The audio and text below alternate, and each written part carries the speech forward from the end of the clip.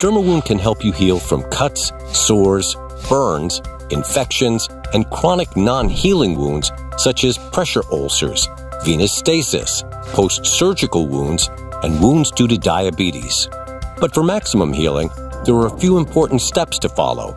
First, stop any bleeding. Then, simply rinse it with water or saline solution. Never scrub the wound.